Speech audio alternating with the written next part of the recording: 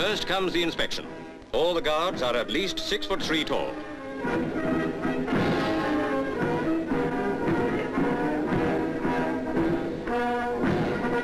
The ensign, Second Lieutenant the Viscount Boyne, receives the new Queen's colour from Her Majesty, who is Colonel-in-Chief of the regiment. For nearly 300 years, every British monarch has maintained the tradition of presenting a colour to the Sovereign's Company of the Grenadiers. The ceremony ends with three cheers for Her Majesty.